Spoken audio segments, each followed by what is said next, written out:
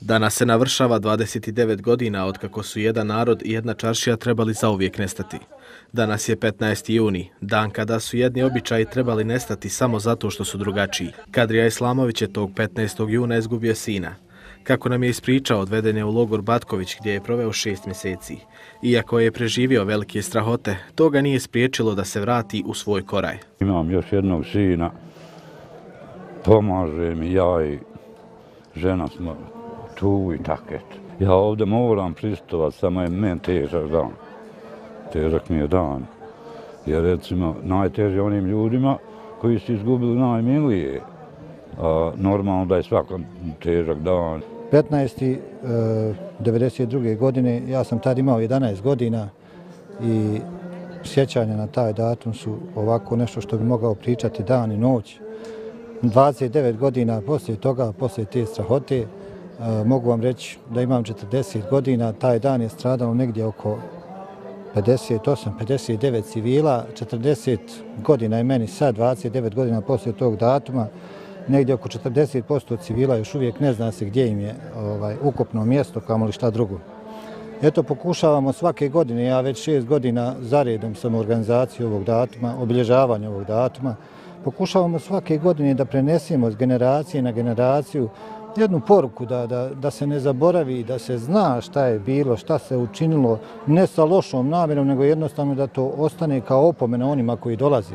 Poučeni iskustvom iz ne tako davne historije, najveći broj stanovnika mjesne zajednice Kore nije prihvatio scenarij tadašnjih vlasti, pa su se odmah posle ultimatuma uputili prema Čeliću. Načelnik ove općine, Admir Hrustanović, kaže kako općina i danas, 29 godina posle, nastavlja pomagati ovoj mjesnoj zajednici. Moram ovu prilikom istaći da je prvi put na području e, mjesne zajednice Koraj se dobiti finanska sredstva od općine Čelić i prvi put u budžet, u budžet stavljena povračka mjesta, to je mjesna zajednica Koraj jedan vid naše podrške, evo što u narednih deset dana počinju radovi na izgradnji ovdje samog centra adaptiranja, ulični rast i svega ostalog i nadamo se viskeno da ćemo dati podršku za opštinu Lopare kako i povrat ministarstva za rad, socijalnu politiku, povrata TK, da ćemo za neki mjesec dana otvoriti ambulantu evo, koju smo napravili. Obilježavanju korejske tragedije prisustvovala je delegacija vlade Tuzlanskog kantona koju su činili ministar za rad, socijalnu politiku i povratak Esad Đidić i ministar za boračka pitanja Fedahija Ahmetović.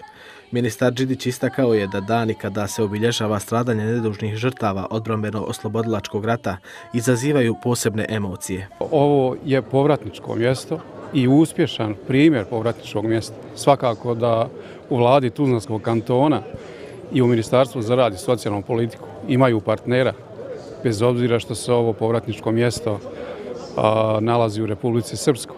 Ministarstvo za rad, socijalnu politiku i povratak ima program po kojima se pruža određena pomoć mjesnim zajednicama i naseljima koja gravitiraju oko Tuzlanskog kantona, svejedno što se nalazi u Republici Srpskoj. I nakon 29 godina za ove zločine još niko nije osuđen, dignuto je koliko, podignuto je koliko ja znam četiri optužnice, ali zbog eh, sporosti pravosuđa i tužilaštva još niko nije osuđen. Prije svega zahvalio bi se organizatorima eh, na oblježavanju ovako značajnih datuma. Kultura sjećanja je veoma važan segment svakoga društva. E, trebamo koristiti svaku priliku da istaknemo da se na, u ovim mjestima širom Bosne i Hercegovine desio zločin i isticati da zločin ne može proći nekažnjeno. U okviru obilježavanja 29. godišnjice stradanja i progona mještana Koreja, danas je proučen Tevhid te položeno cvijeće na spomin obilježje civilnim i vojnim žrtvama rata.